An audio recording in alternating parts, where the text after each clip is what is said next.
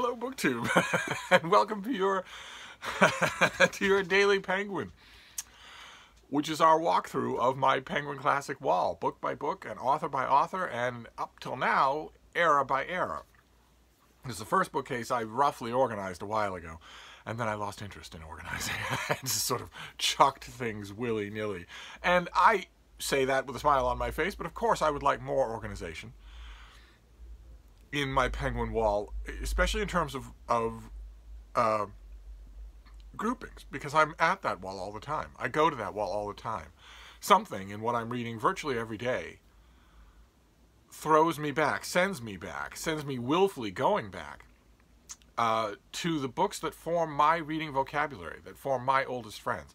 So I will be reading something about uh, Wordsworth the Revolutionary or about uh, the Sultan Selim I or whatever, and something in it will will make me say, ah, what was that line in Keats? Or ah, what is that scene in the House of the Seven Gables? Or what is that bit of business that that this reminds me of? I always tell myself uh, that I'm that it's worth the long, rambling, uh, aimless search on that wall because it might be useful, because I might incorporate that bit of business into a review of the, the newer book that I'm talking about. That almost never happens. I, I, only tell myself that because I need some flimsy excuse to spend time with my oldest bookish friends. Uh, and th that organization would help, of course if all of my English literature was together, for instance, my, my post-Shakespeare English literature, if all that was together, that would be, that would help for me to find things. Half the time, I can't find what I'm looking for over there.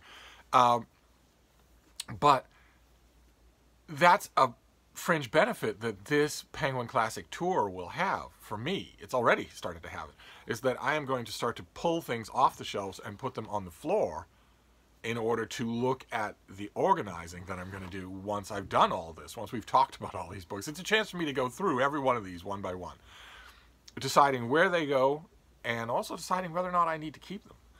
Uh, now, whether or not I need to keep them is governed by a couple of things, uh, a few more things than are governed in the rest of my collection. I have worked hard with the rest of my book collection to impose a stringent set of rules on what I keep and don't keep on what determines whether or not I'm going to keep a book because otherwise I'd be up to my eyeballs in them. Now, maybe during a time of quarantine, I would want to be up to my eyeballs in books, but not ordinarily at all. Not ordinarily. Usually what I want is a small, a large enough, but a small enough library so that it is responsive to my needs and not enormous and wasteful. And that is ordinarily the only criterion that I use. For, but for penguins, I admit I like the logo. I like the company. I like the brand. I like uh, their editorial ethos. So I tend to just, when I'm at a used bookstore, I tend to hoover up Penguin Classics, whether I'm all that interested in the book or not. Or, as we've seen, whether or not the Penguin Classic version of the book is the version that I would like to have. So I end up having two versions of a book. One that I have because I really like its introduction or its critical apparatus or its the edition that's chosen or whatever, and the other because it's a Penguin Classic, which isn't, it flies in the face of the rules that I apply everywhere else. To have something because of that is, well, I don't know, I'm, I'm revisiting it, I'm rethinking it as things go. And if I, if I have some books on that Penguin wall just because they're Penguins, well, then how much more likely is that to be true if it's a Penguin Classic Deluxe edition? A while ago, Penguin Classic started making deluxe paperback editions of things that have a heavier duty matte cover. The, there's newly commissioned artwork on the cover, usually front and back, sometimes even the insides. There are French flaps and deckled edges and uh, usually a high profile new introduction. They're gorgeous, absolutely gorgeous. Penguin Classic Deluxe editions are absolutely gorgeous. And I admit, I'm re more reluctant to give up one of those than I would be a normal Penguin Classic, even if it's an author I don't like. And that brings us to today's author. today's book is the Penguin Classic Deluxe Edition of The Portrait of the Artist as a Young Man by James Joyce. Uh, with a new cover. This cover is by Roman Muradov. You've got uh, cover artwork on the front, cover artwork on the back, cover artwork on the flaps. So you see, you can see what I'm talking about. This just happens by random chance to be the one we're starting with. But you can see what I'm talking about. These are a lovely, this is a lovely thing for Penguin to do. And they are lovely additions. Uh, it's just that this is an author that I hate.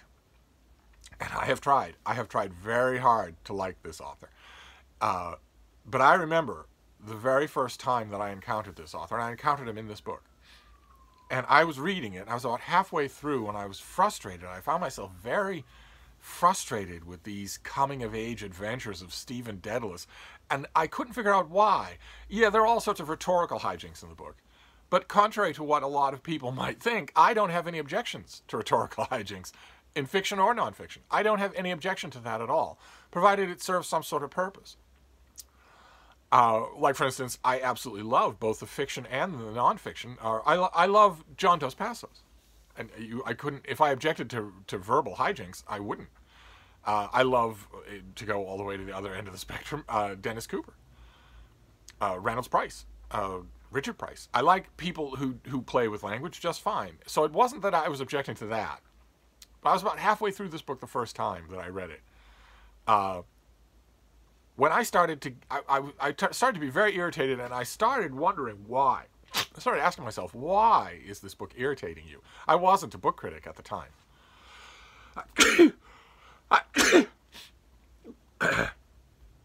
uh, so maybe I wasn't as used to asking that question. I ask that question all the time now. When I read, when I pick up a new book in, in advance copy and I'm reading through it, uh, I, have mentioned on this channel many times that usually if I can, if I'm not pressed for time, I will read the advance copy of a book um, non-critically. I don't mean that to sound as condescending as it comes out, but there's no other word. I will read it impressionistically. I will read it through without thinking about assessing it critically in a review. So in other words, without a pencil in hand, just, you know, what am I making of this as I go along? Because I think those impressions are valuable for a, a critic to then remember and use. And when I do that now, I am inevitably still thinking about the critical review down the line, even if I don't write one. I'm still inevitably thinking of that. So I'm having those reactions, but then I'm analyzing them. I'm having those reactions. I'm thinking, okay, well, you're smiling from ear to ear right now in this chapter. Why is that? Why is that? It's not just going to be the plot because this is all made up. So who cares? There's going to be something else. Something else is making you smile. What is it? Uh, but at the time that I first read this, I didn't do any of that. It wasn't instinct yet. It wasn't reflex, and I wasn't a book critic. And yet, about halfway through, I realized that I was irritated, that it was angering me more and more the more I read it. And I did stop and ask myself why. And I couldn't figure it out. And then I finished the book, and I still couldn't figure it out. And then I talked with other people who had read this book, and gradually I realized what was angering me about this book. And that was that the words on the page, the creative effort of the author, James Joyce, was uh, intending to create a response in me other than a response to what I was reading.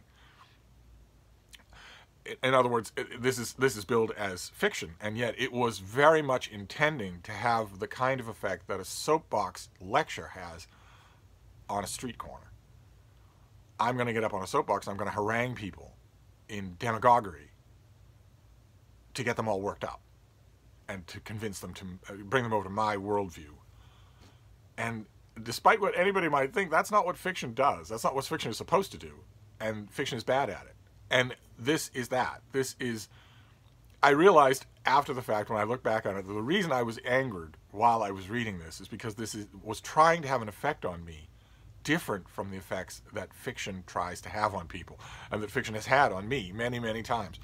Uh, and once I thought that, once I started to suspect that, I went back to this book. I've gone back to this book so many times. And I went back to it when I got this Penguin Classic Deluxe Edition. It's so beautiful. I can't bear to give it up. Uh, I went back to this book many times to analyze that, to anatomize what this is and why it's doing what it's doing. I plumbed the depths of a lot of the lies that have accumulated about this book over time that scholars and passionate readers have have told about this book in particular over time, but also Dubliners, and also Joyce's two enormous, uh, very intentionally unreadable so-called masterpieces. But mainly about this book, as you can tell right away from the title, the utterly, utterly pretentious title. Uh, I, I also analyzed a lot of the lies about this book. Often, when you read about this book, you will be told, or the uh, the phrase will be offhandedly tossed, uh, that this is loosely based on James on James Joyce's own life, and that is not true. That is a lie, a demonstrable lie. This is completely mimeographically based on James Joyce's own life. Only the names have been changed, nothing else. No, not the slightest detail. And the people who are, again, as I say all the time, the people who are involved in autofiction can always swear to that. they can always swear to that. What reason would they have to lie? They can always swear to that. They can always say, yeah, I know he changed the names, and I know he maybe changed the location, but that thing that happens where he sees a girl bathing at the beach and has an epiphany, yeah, I, I talked to him not, not an hour later. He told it to me in exact detail, and he wrote it exactly as he told it to me. In other words, autofiction. And uh, autofiction in the present day annoys the crap out of me because it tries to below, fly below the radar of accountability to readers. You, you think, autofiction writers think they have the ultimate backstop because if a critic says, well, this is a poorly imagined encounter, the author can say, well, it shows what you know. It actually happened exactly that way in exactly that place with exactly that dialogue with exactly that person and I can I can contact them through Facebook to verify that if you don't believe me. So there, you go. Uh, there's one in your eye for saying that I was that this is implausible. It's not only implausible; it's exactly what happened. one of the foremost perpetrators of that in the modern day is Karl Ove Knausgaard and his noxious, just effluvia of series of books, My Struggle. One of the problems that autofiction always produces in its perpetrators is a logorrhea. They just can't stop writing. They just, obviously, as I mentioned, if since this has everything in common with a soapbox demagogue and nothing in common with literature, what is the thing about soapbox demagoguery that you know for a fact? What is, if for instance you were a soapbox, dem- a soapbox demagogue, and let's say you fell into the habit of having regular Klan rallies in the Deep South, what would th- what thing would be notable about those Klan rallies? That they go on for a long time. that would be one thing that everybody would note about them, that they're really, really long. and the same thing is true with a soapbox demagogue, you know, on the corner of the park they'll talk all day. And that is that is an, a very much uh, a byproduct of autofiction, is that you you don't you just go on and on and on because and and you can't be told to edit, shorten, or make things more concise because you're responsible. You know, well, it didn't happen that way. It happened like this. So what do you mean? You see this in most of the worst practitioners of autofiction. Uh, David Foster Wallace was very much one of those. uh, but uh, Karl Ove Knausgaard is by far the most prolific in the modern day. And who writes the introduction to this Penguin Classic Deluxe edition of Portrait of an Artist of a Young Man? Karl Ove Knausgaard. Is it awful? Yes, it is. It shows no literary awareness whatsoever, and it doesn't give much indication that he even knows what this book is, much less has ever read it. I get that impression when I listen to interviews with him, that he is basically uh, a non-bookish person who is now uh, now I might I might point out because of the the reverence that the 21st century gives to autofiction, he is now a towering literary figure, having produced nothing of literary merit whatsoever. And although it's going to make the fanboys and the dude bros scream, I would posit largely the same thing for James Joyce. I'd go back 100 years to do it, but I would posit largely the same thing for James Joyce.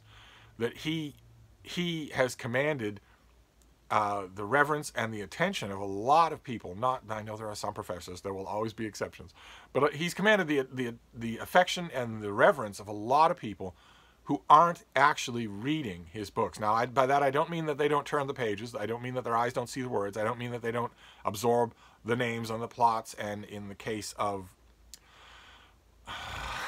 well, you all know Bloomsday. You all know the kind of fetishization that this author's writing can produce in lots of people. I'm not saying that they don't read the book. I'm saying that they don't experience it as a book. Instead, they encounter the same phenomenon that I encountered when I first read this. That growing sense that this is supposed to be having effects on you that have nothing to do with it being a book.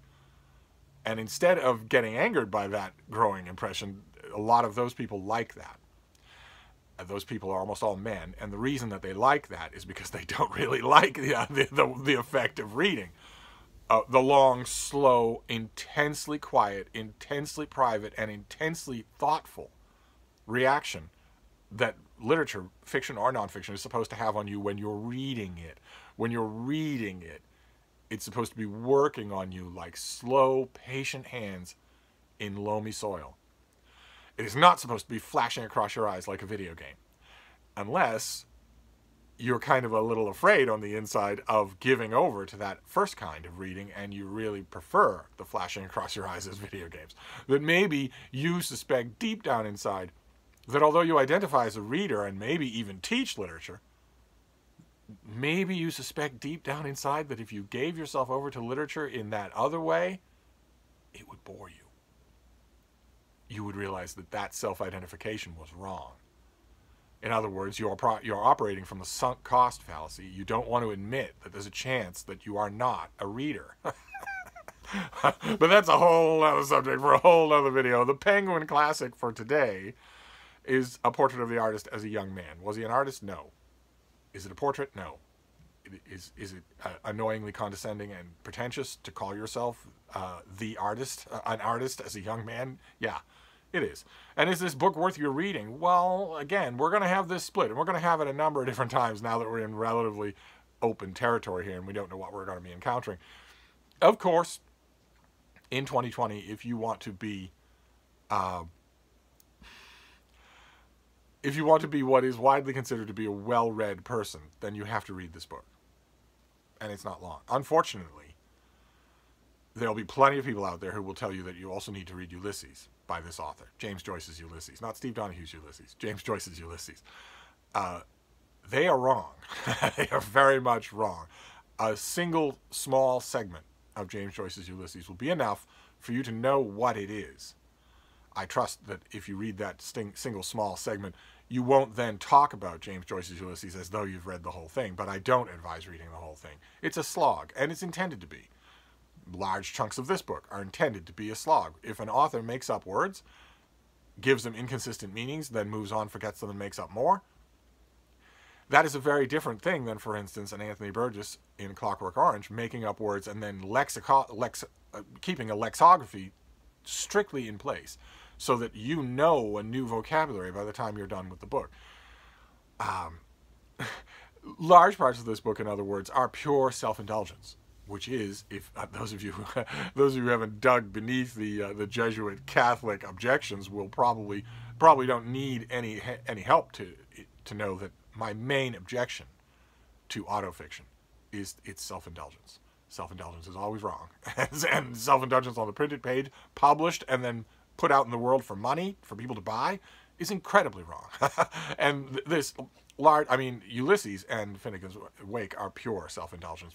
large parts of this are self-indulgence, but not all of it. There are bits and pieces here and there in this book that are effective. I don't think that's recommendation enough to read it, but nevertheless, that's going to be the dichotomy recommendation that we're going to get on these Daily Penguins a lot coming up, where I'm going to say, uh, I deeply dislike this book. I can tear it to pieces and defend every single criticism that I make. This is exactly the point. When I when I launch onto an opinion about this particular author or David Foster Wallace or Karl Ove Knausgaard or whatever, this is exactly the point when dude bro aficionados will say, well, you know, all reaction to literature is just personal opinion. It's all subjective. So, you know, you're saying this guy stinks, and I have been raised since I was 13 to think that he is absolutely great, just unquestionably great, just perfectly great, just perfect. And yeah, it sounds like you read a lot and it sounds like you might know what you're talking about, but that's what I'm going to shift to. All reaction is, is subjective. All, all assessment of literature is subjective. That isn't true at all. All reaction to literature is subjective. All assessment of literature is not. It is entirely possible to read a novel and say that book was objectively bad. That nobody likes to hear that in uh, in the 21st century, where we all, you know, Pache Daniel Patrick Moynihan, where we all very much are accustomed to having our own facts and where saying uh, an old white guy say, oh, oh i believe I'm even cis, an old cis white guy saying this particular book is objectively bad would get dragged, would get ratioed on social media for for condescension and oh yeah, this is your white privilege talking. How you? Who are you to say that any book is good or bad? Okay, all right, fine. I'm hoping that we're dealing on a different level of discourse here, but one way or another, uh, this is a bad book. and this author never wrote a good one. So on one hand, I'm saying this is this is a bad book. It will try your patience pointlessly. It won't make you a better reader by trying your patience. It will just try your patience pointlessly. But on the other hand, it has firmly lodged, like a corn cob seed, way in the back teeth, it has firmly lodged itself in the modern canon of Western literature. So on that level, it is a recommendation. On that level, if you care about such things, then then you have to do this. Then you have to read this. You don't have to read the two gigantic baggy monsters. But this and Dubliners, uh, maybe you do. It won't take you very long to do. It'll take you a lot longer than it would have taken if Joyce hadn't been such a coward. He wrote it this way because he was afraid of competing. And that's another reason why people love autofiction, because it, it gives them the illusion that they are leaving the arena, that they aren't competing, that they are quite literally marching to the beat of their own drummer. And so, again, they can't be criticized. As a critic, of course, that enrages me. But that's going to be your Penguin Classic for today. It's I it's uh it's I'm going to have to come up with another word. It's not a recommendation. I don't recommend that you read this even for canonical reasons.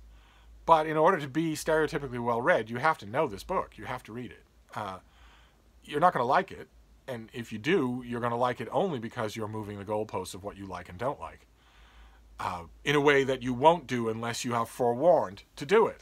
unless you are forewarned to do it. The only people who say they like this book in 2020, the only men who come to this book and say, read it and say they like it, are the ones who came to it already knowing that they were the kind of person they think should like this book.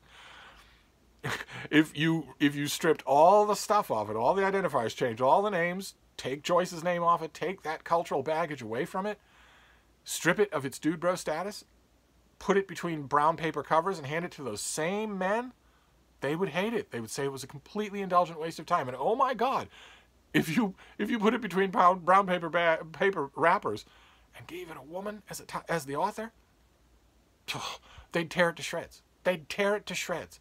And the thing about a lot of these readers, those male readers that I'm talking about, is they don't even know this. They aren't even aware of it because their teachers aren't allowed to say these kinds of things to them or have long since you know swallowed the pill themselves but one way or another you know what i mean. I'm not gonna i'm not gonna i'm gonna i actually am gonna beat this dead horse quite often in future penguin videos but i don't need to do it anymore in this video. So we have a, we have we have to hold two competing thoughts in our mind at the same time which i'm sure we can do. On the one hand you know what i'm saying when i say this is a part of the canon if it matters to you to be conversant with the canon, to know what you're talking about, to experience everything in the canon of all the different symphony of voices, then you have to read this. If you only care about, yes, it's part of the canon, but I want to know, is it good? Well, no, it's not good. There's barely anything in it that's good. It is less worth your time to read than even a minor novel by a genuinely good author.